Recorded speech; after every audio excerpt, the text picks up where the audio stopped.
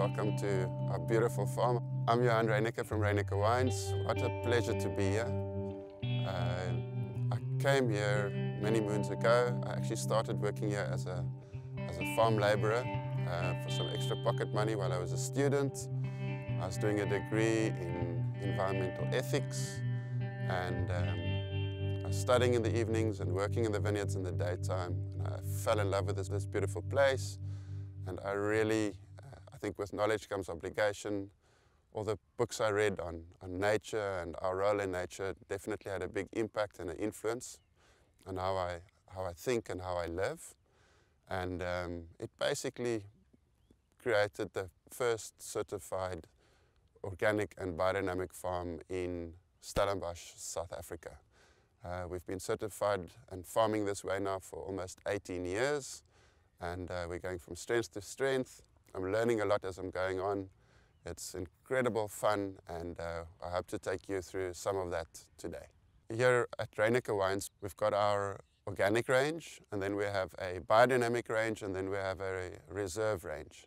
The organic range, uh, basically it consists of fruit that we buy in from some other uh, organic producers in the Western Cape. The biodynamic range and the reserve range are wines from this estate. We're standing on granite soils. We've got about 300 meters above sea level and we're about 14 kilometers from the ocean. So the wines from our estate generally are a bit more um, structured in their approach and in their expression, minerality on the whites, fine tannins on the reds, and um, they're quite elegant and, and quite delicate, whereas our organic range we buy in from warmer climes, from the west coast and the Swartland.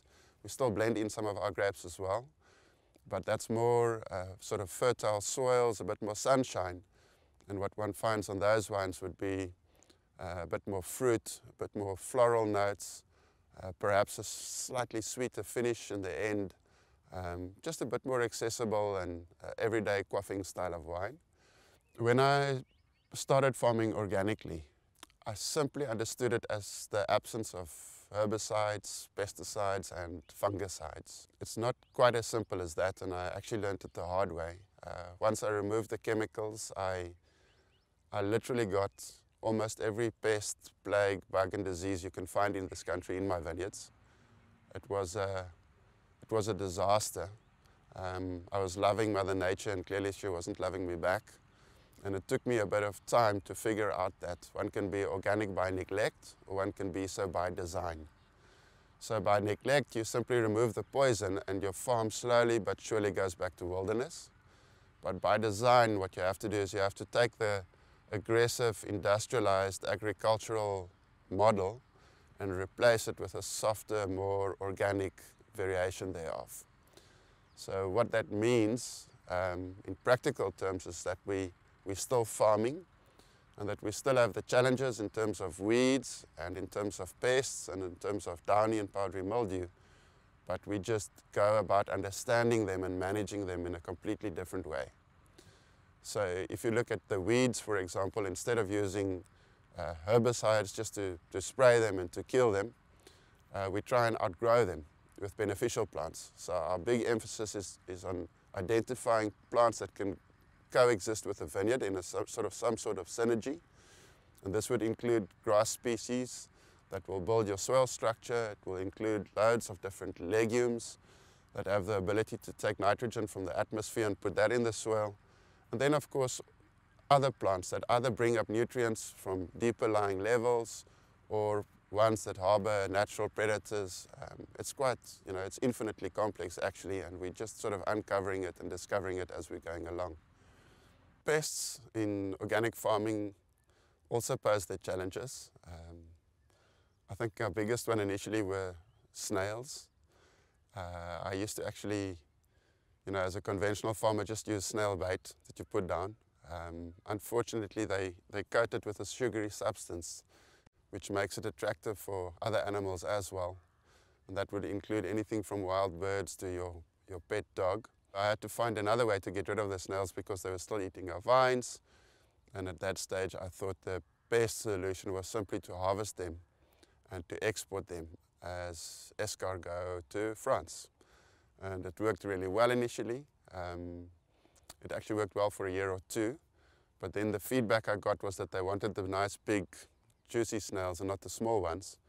And I, you know, I had to harvest all of them because they were all eating my vines. So when the escargot door closed, uh, the solution was go back to nature and see what works in nature. And in nature, a duck eats a snail. So I simply set off and I bought about 200 ducks and I got them in the vineyards and they sorted the snails out for us within a year or two. It was amazing. Um, sometimes pests and plants coexist in how one would manage them from an organic point of view. In South Africa, we have a big problem with leaf roll virus. And this virus spread through the saliva of a little insect called a mealybug. When I was still a conventional farmer, I was given a special suit and a mask and everything to wear. I used a pretty heavy poison to stop the spread of leaf roll virus through my vineyards. When we went the organic and the biodynamic route, after three or four years, um, a very interesting thing happened, and that was that this virus stopped spreading through my farm, and I couldn't find the the mealybug that was spreading it. You might recognize this a dandelion, jagged leaf, Leuwentant, uh, lion's tooth. And now this plant grows everywhere, in your lawn, comes up on the pavements, on the side of the road, everywhere. But it just so happens that that same little insect that spreads that disease actually prefers to live on the root of, of this dandelion. So when I stopped killing all the plants and only leaving the vines, um, in fact, what I was doing is I was allowing the insects to live elsewhere other than on the vines. And uh, when they live on the root of the dandelion, they're not busy spreading the leaf roll disease in the vineyard. So it's got a, it's an interesting thing, you know, it's, nature's a bit like a spider's web and if you touch it, it's not just the place that you touch that moves, it's the whole web that moves. And um, yeah, I got to understand that often less is more. And uh, with farming comes great responsibility and one must really strive to sort of live and let live and work with nature and sort of find a little place for yourself in the big, in the, in, in, in the bigger picture.